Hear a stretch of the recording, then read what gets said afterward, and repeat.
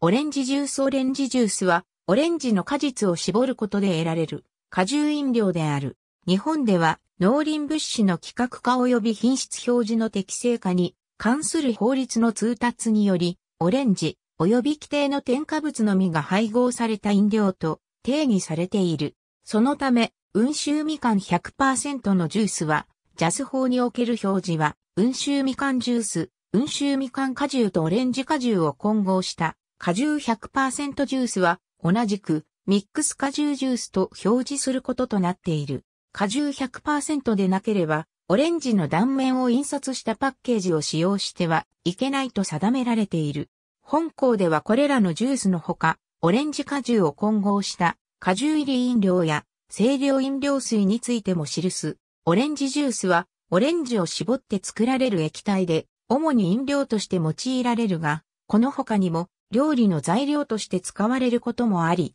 また清涼飲料水の風味付けなどにも用いられる。オレンジ1個からはおおよそ 90g のオレンジジュースが得られ、オレンジ固有の香りや風味及び色を持つ。オレンジに含まれる栄養素を含み、ビタミン C や食物繊維が豊富とされ、朝食の補助メニューとしてやおやつにおける飲料。なおビタミン C 含有量に関しては、製法や保存状況によっても異なる。オレンジジュースは単に果実としてのオレンジを絞ることで作られるわけだが、これはオレンジそのものよりも保存性が良く、こと濃縮されたものは液体コンテナに詰められ、貿易用の物資として世界規模で流通しており、先物取引の市場でもオレンジジュースは一定規模で扱われる商品である。フカッチは果汁を凍結させ、その過程で氷の結晶が不純物としてオレンジの水以外の成分を残して凍結する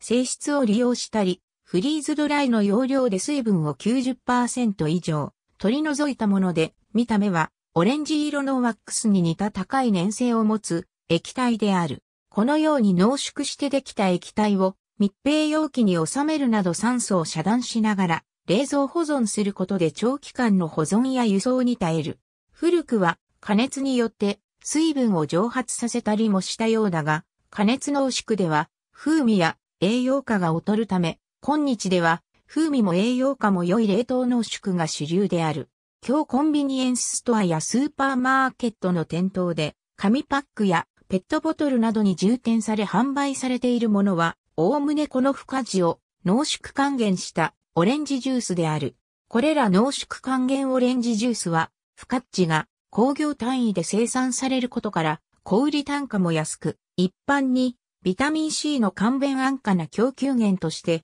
親しまれている。愛知県豊橋市三河港に日本最大級のジュース専用ターミナル、日本ジュースターミナルがあり、ブラジルから専用タンカーで運ばれてきた濃縮オレンジジュースの受け入れ、冷蔵保管、タンク間移送、在庫管理、品質管理、ブレンド、携帯別充填作業及び全国各地の飲料メーカー、ボトラー、パッカーへの出荷を行っている。2000年代からの原油価格上昇に伴い、日本では2007年5月に飲料メーカー各社が一斉にオレンジジュース値上げに踏み切った。ただしこれは、米国フロリダ州が2005年にハリケーンカトリーナの被害に見舞われ、オレンジの生産が落ちていたことも関連しており、1割程度の値上げとなった。なお2007年度末には、被災地域の回復にも伴い付加値市場価格が落ち着きを見せ、一般に販売されるオレンジジュースの価格も一部では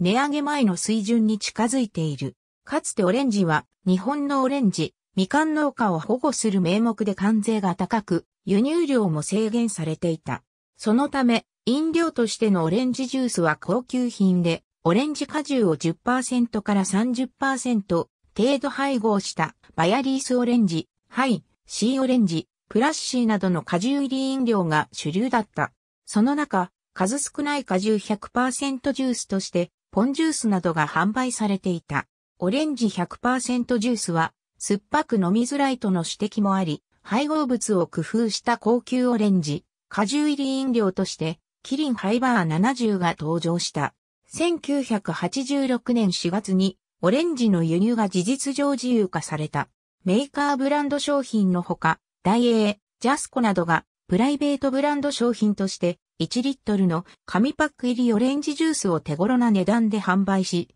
オレンジ果汁系飲料は徐々に100%ジュースが主流となっていく。日本のコカ・コーラ社の自動販売機でもミニッツメイドブランドの100%オレンジジュースがラインアップに加わる一方、オレンジ果汁入り飲料は飲みやすさを工夫し、栄養面でも配慮した空が発売され、本物志向と飲みやすさ重視双方の需要を満たす保管関係となっている。ポンジュースは価格競争で厳しい状態に置かれたが、オレンジと温州みかん果汁をブレンドしたり、容器をペットボトルにするなど、差別化を図りつつ、価格競争力をつけ、全国のコンビニエンスストアで取り扱われるメジャー商品に成長している。また、温州みかん100%のジュースを開発、販売している。オレンジ果汁入り飲料の一部は、格安飲料としてディスカウントストアや格安自動販売機などの主力商品として新たなマーケットを開拓している。ソーダファウンテン装置向けの濃縮果汁シロップが業務用に提供されており、水でシロップを割り、オレンジジュースやオレンジ果汁入り飲料を提供している。また、その場でオレンジをジューサーで絞り提供する店舗もある。その場合、特にフレッシュジュースとメニューに記されていることが多い。カクテルにはしばしば柑橘系の果実が用いられる。オレンジも例外ではなく、しばしばその果汁は材料として使用され、オレンジジュースの独特の酸味と甘み、また柑橘類の特徴的な香りを活かしたレシピが見られる。カクテルに加える場合は、絞りたての果汁を使う場合もあれば、工業単位で大量生産されているため安価な濃縮還元オレンジジュースが使われる場合もある。ただし、基本的に濃縮還元のものを含めて、オレンジジュースは果汁100%のものを用いる。カクテルには砂糖も使用されるため、甘味料などが添加されていてはあまり意味がない。というのも酒が使用される。通常のカクテルの場合、オレンジジュースは副材料の扱いであり、あくまでは規約ではあるものの、カクテルにした以上、使用したすべての材料の風味が生きないと意味がないからである。このため、基本的にはフレッシュジュースの使用が推奨される。オレンジジュースは様々なカクテルに使用されている。種類にオレンジジュースを加えることは様々に試され、また引用されているのである。なお、副材料としてオレンジジュースを単独で用いる例だけはなく、他の果実の果汁と混合して用いられることもある。オレンジジュースが使用されたカクテルには、オレンジと呼ばれるものが複数存在する。オレンジブロッサムやオレンジフィズなどがその例である。また、何らかの酒をオレンジジュースで割ったものは、オレンジと呼ばれる場合が複数存在する。